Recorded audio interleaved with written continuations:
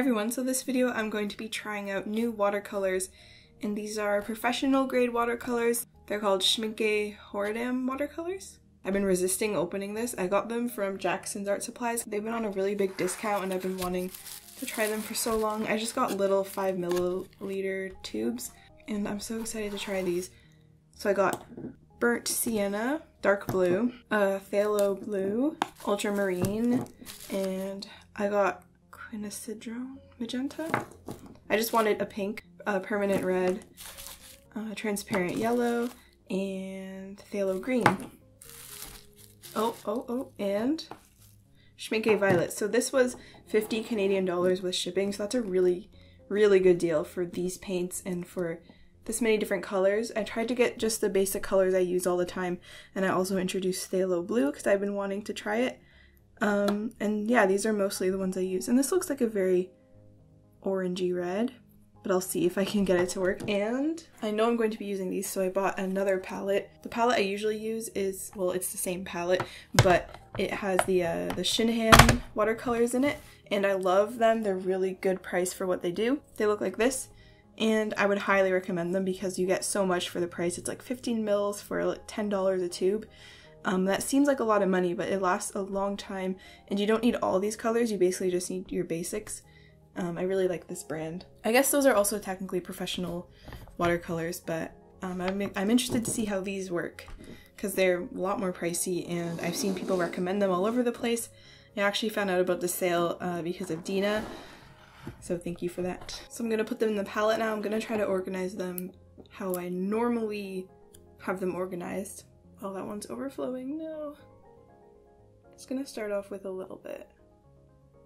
I don't want to put too much in the pan.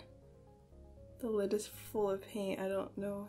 I usually really fill the wells, but I'm not gonna do that right now. It feels a little too extreme. That one's a bit thicker. Yellow. Oh, wow. Is that what that's supposed to look like? Interesting. I've never seen the yellow come out of the tube like that. That's so weird. Is transparent yellow different than just yellow? Hmm.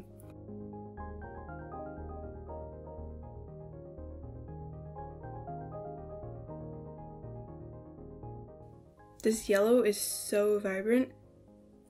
It looks kind of brownish on the palette, but once you put it on the paper, it's this brilliant bright yellow. It's so nice. I'm gonna start swatching the colors down this column. So here's the red. It's kind of hard to use watercolors when they're um, wet on the pan because I end up taking too much color. So far the sienna color is not as... Oh no, that's still... It's a nice color. Now the yellow, obviously, but we already know what the yellow looks like. It's so bright, you hardly need any um, pigment to make that bright yellow. I wonder how light fast it is. This phthalo green. Super bright. Very nice. I believe this is phthalo blue.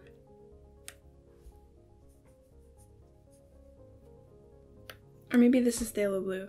I think this is phthalo blue. It looks more like it. It's got that kind of turquoisey quality. Yeah, I think this was ultramarine and this is phthalo blue. Look how bright these colors are. Now for dark blue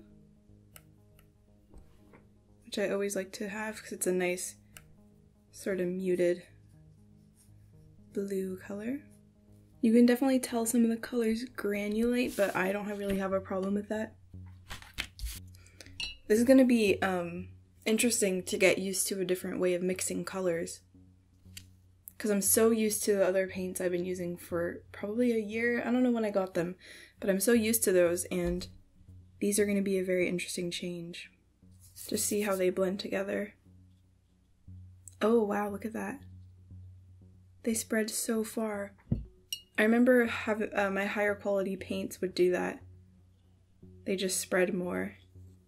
Okay, I'm really, really excited to just actually get started painting with them because I don't really want to swatch anymore. I'll see how this puddle dries. It might have a little bit too much in it. There we go. So I'm going to set this to the side and see what they look like but they definitely leave a harsher edge around the outside. So I've prepared two sketches. One of them looks like this and one of them looks like this. They're the same character. Um, I want to do something kind of related to Junicorn because it's Junicorn right now, which is basically when you draw unicorn characters during the month of June. Art challenges are really great to get inspired and stuff, so I'm going to be painting this. And I want to put some tape on it. I'm going to start by wetting the page, which is what I normally do. But I'm wondering if this is going to get out of hand really quickly with how much they spread in water. So I might not always want to do this anymore, it depends. I don't know how this is gonna go exactly.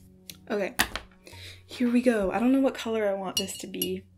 I'll drink my tea while I decide. Maybe something pink and blue, something very magical looking because I don't do that a lot and I want to because I can. So let's say should have my water over here so I don't drip on everything. So is this, I don't have no idea what this is gonna look like.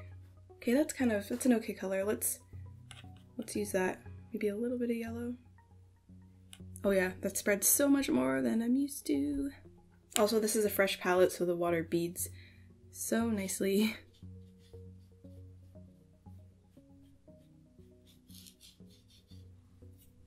I don't really know what this creature is. I didn't I remember I didn't even talk about what it is. It's just kind of a cute little unicorn creature, I guess. Not a horse, just something else. Yeah, I might not want to wet the paper like this. Maybe I would just wet the thing I'm actually painting because it spreads. But that's okay. I don't really... Oh, you can actually lift it up pretty nicely. That's good to know. So if I didn't want this, I could just... I'm picturing the horns will probably be pretty dark.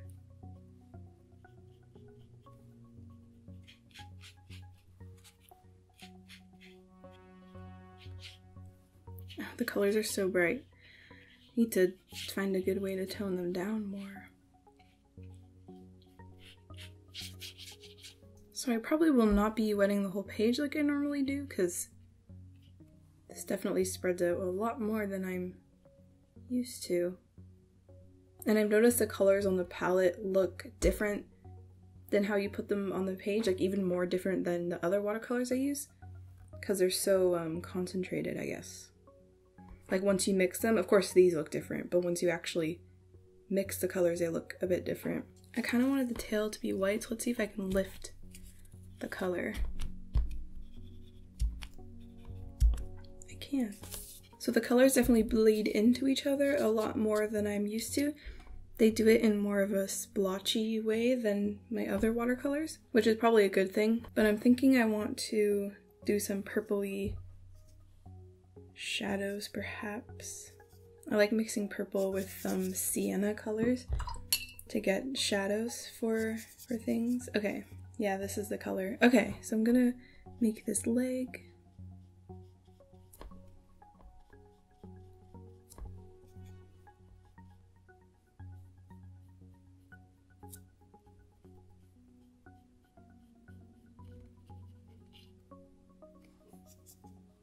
Here's a much darker color for the horns.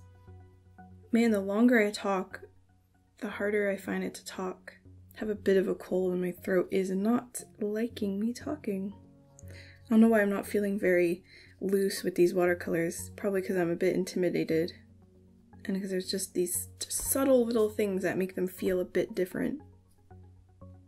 They dry nice and flat when you lay down the color evenly. They have a nice way they look when you do that. I'm not used to how darkly it outlines each area of color, um, but it's just something I have to get used to. I think I need some more. Oh man, I hope I didn't put my brush back in my tea.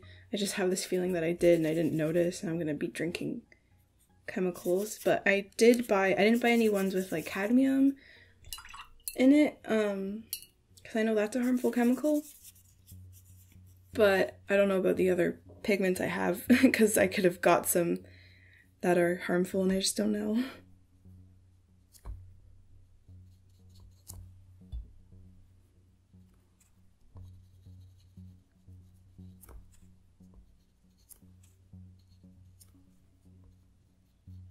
The purple is basically black on the palette. It's hard to tell Um, I keep thinking it's black, but it's not. Because I'm used to having black at the end of my palette. I never really use the black, but if I want grayscale stuff, I'll use it. It might be nice to do little blue areas. I don't know. Just make maybe he has a bluer stomach. Maybe the underside of the tail is also blue. I think that would be nice. You can tell I'm a little bit, I'm still a little bit clumsy with them because they do work differently. But overall, I'm really happy I got these and I can't wait to do more illustrations with them. I might make his feet blend from a pinkish brown. His feet, I don't really know what the gender is actually, but I see it as a he. Too much water. Don't want there to be harsh edges. I love mixing the phthalo blue with the violet. It makes such a nice, um, cool blue shadow. Kind of a warm blue, actually. I don't really know. I feel like I could have controlled the colors better, but this makes me want to do an all watercolor piece where I only use watercolor and nothing else. So I just lost most of the recording for this, um, but you saw kind of my initial reactions, I guess. So I'm gonna do the other one. I was gonna do it anyway, but now even more that I've lost the footage for this, but I just love how dark you can get the colors. I'm really, really, really happy with these watercolors so far. The colors are super vibrant and they've just been a joy so far, so I'm really, really glad I got them. And now I'm gonna do this one. And I think I'm gonna make him have a different color scheme because uh, just for the sake of trying more colors. So yeah, he's gonna go from yellow to brown to green. I think that's what I'm gonna do. And I won't wet my whole paper first this time because that was stressful. Don't want to deal with that again. So I think the yellow, I want to add a tiny bit of red to it so it's a warmer yellow because it's kind of a more lemony, cool yellow. And I want it to be more of an orangey yellow. Let's do this. Oh, that's so bright. Oh no, I think that's too bright.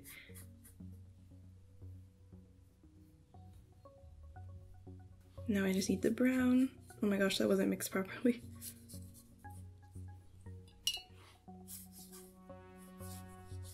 Think the brown will take up most of it. This is more of an orange than a brown though, let's be honest. And then it fades to green.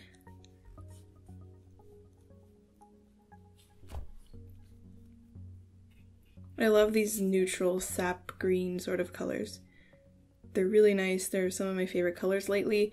If you've been watching my videos, you probably can tell because I tend to just gravitate towards this this green I must use in everything and yellow and orange. I love these colors. So it's nice to use them together. Should I make his feet more of a vibrant yellow? Maybe? It's a little bit too vibrant. This yellow is so strong. If you're gonna get these colors, I recommend this yellow. It is so strong. It's just transparent yellow. It's super strong. It dries a little more muted, which is nice. So the yellow was not as bright as I thought it would be. So I need to keep that in mind that the yellow doesn't dry as nearly as bright as it looks. I want to put these green dots on this leg here. It's so nice and vibrant. I know it will dry duller, but it still looks nice. I don't know why this reminds me of lettuce. I keep laying my hand in parts I've already painted. Gonna add in some little color blotches like I did with the other one.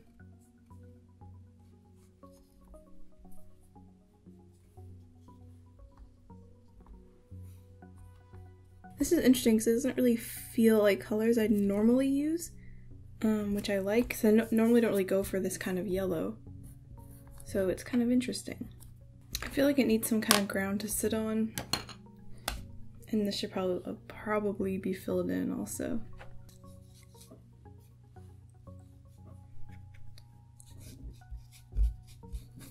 I think I figured out why this looks so odd to me.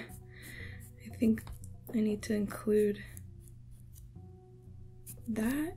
No. Hmm.